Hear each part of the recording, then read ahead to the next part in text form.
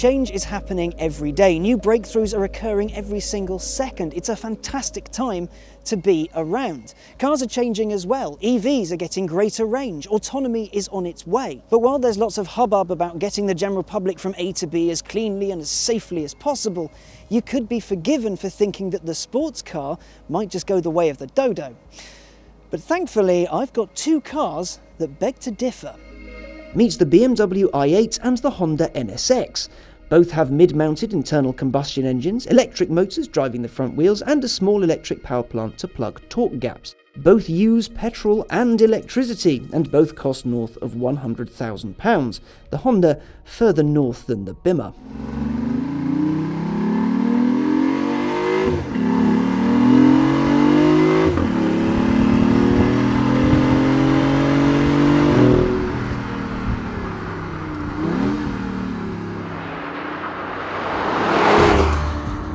in these two is remarkably similar to that you'll find in the Porsche 918, the Ferrari LaFerrari and the McLaren P1. Basically, electric stuff hooked up to a mid-mounted internal combustion engine to make pretty thing go fast.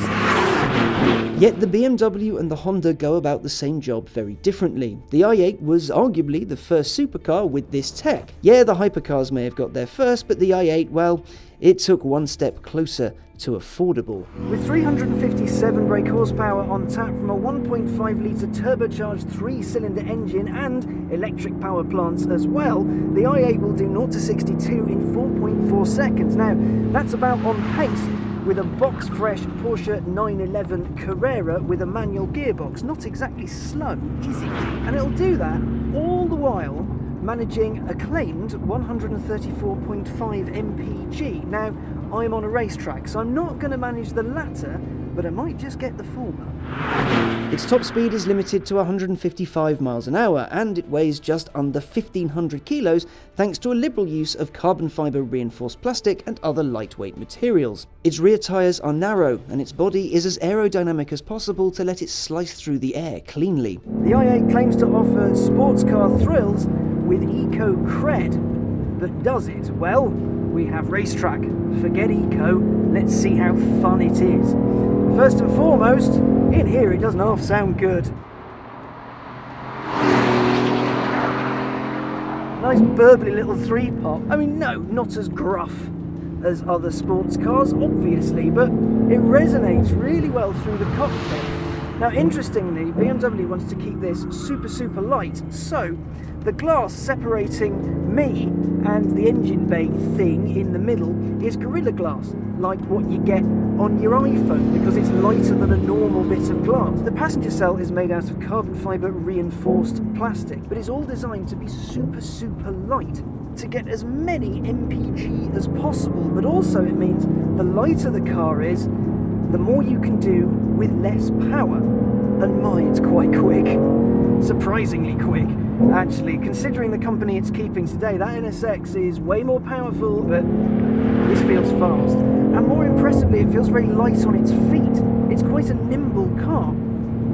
The steering isn't too heavy, the throttle response is instantaneous, as you would expect from a car with hybrid assistance.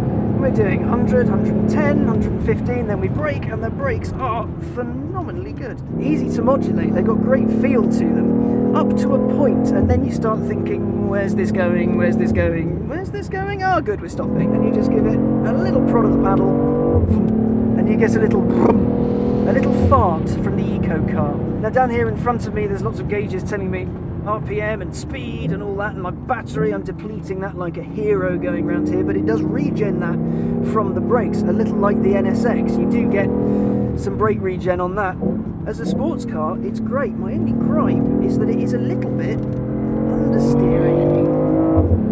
You can get it to go, but it's not as sharp as you'd want a proper sports car to be. But on the day to day, the i8, absolutely fine. It's fast, it offers thrills, it feels sharp enough, and it's certainly quick enough. The look of it, for one, the drama of it. It's an eco car that wasn't boring to look at. The doors, my favourite bit of the car, arguably. They're just wicked. It's a very visually arresting car. Drive one of these down the street and people are going to pay attention because it looks like a concept car because it basically is. It's not exactly a track monster, but it's fun and makes an alright noise. You pay no vehicle excise duty, and there's even a small set of rear seats for people who don't like their children. It's BMW's Halo Eco car, and as a first step, it's rather wonderful.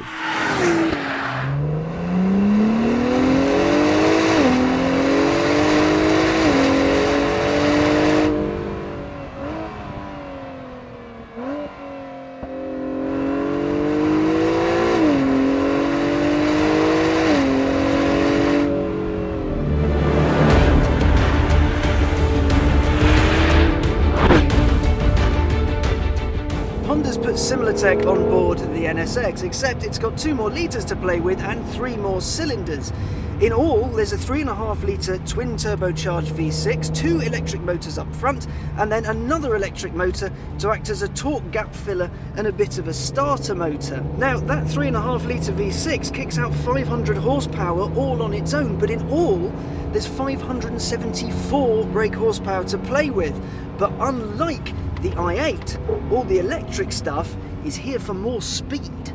It's taken Honda a long, long time to get the NSX to market, but it's a Honda after all. It had to be perfect straight out of the box. Like the original NSX, it had to take on the world's best and at least be on par. So those two motors up front are there for a little bit of torque vectoring and to add a little bit of extra go as and when you need it. 0 to 62 takes around 3 seconds and its top speed is 191 miles an hour. To put it politely, the NSX ain't slow.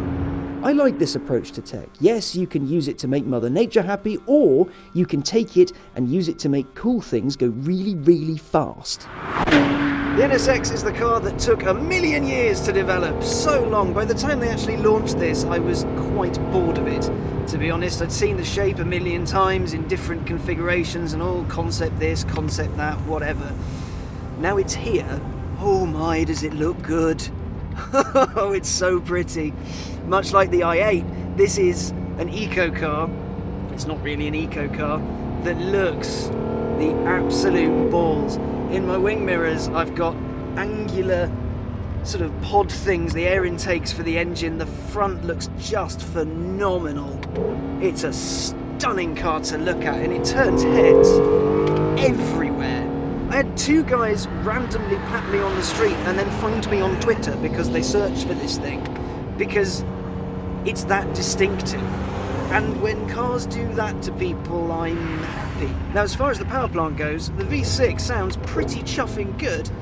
A little bit drony, not the most exciting thing in the world, but it makes the right noises when you want it to. It's communicative, it handles so well, and my god, all that electric assistance is so fast.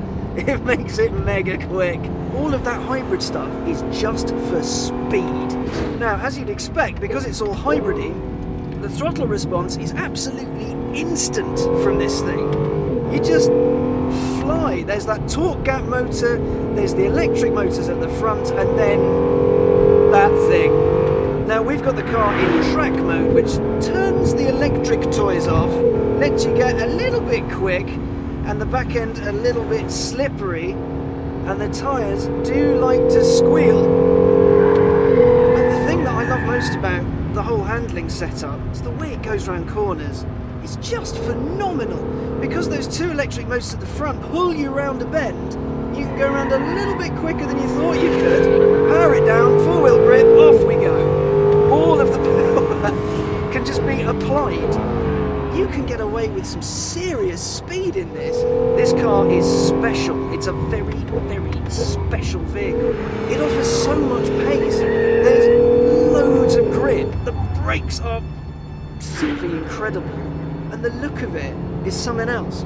I like what BMW's done with the i8. I love what Honda has done with the NSX. Absolutely adore it. Two takes on change, the iPhone generation for cars, if you will. They won't do the driving for you, they won't mollycoddle you. They're here to excite the senses while using as much modern technology as possible to deliver an experience fit for the modern driver. Both the NSX and the i8 are marvels of engineering. They both use similar technologies to achieve very different results. So, to those of you that are worried that maybe the sports car is going, look behind me, because these two they're just the start.